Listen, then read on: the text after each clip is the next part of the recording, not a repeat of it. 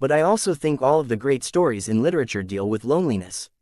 Sometimes it's by way of heartbreak, sometimes it's by way of injustice, sometimes it's by way of fate. There's an infinite number of ways to examine it,